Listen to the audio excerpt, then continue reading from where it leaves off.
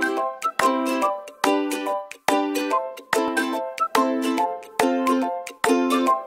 Pelar los dientes de ajo y laminarlos. Picar en dados pequeños la cebolleta. Limpiar los champiñones en caso necesario y cortarlos en cuartos. Calentar el aceite de oliva y dorar levemente el ajo. Agregar la cebolla y rehogarla hasta que esté bien blanda. Echar entonces los champiñones y cocinarlos durante 8 minutos a fuego lento. Añadir el vino y dejarlo reducir. Por otro lado, sofreír el tomate con aceite hasta que comience a espesar.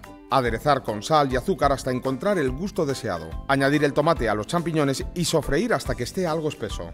Cocer los huevos durante 12 minutos con abundante agua y sal. Escurrir, enfriarlos, pelarlos y cortarlos en rodajas. Añadir las rodajas de huevo a los champiñones. Para emplatar, echar lonchas de jamón en platos de presentación. Añadir el champiñón cocinado encima y decorar con rúcula y con queso recién rallado.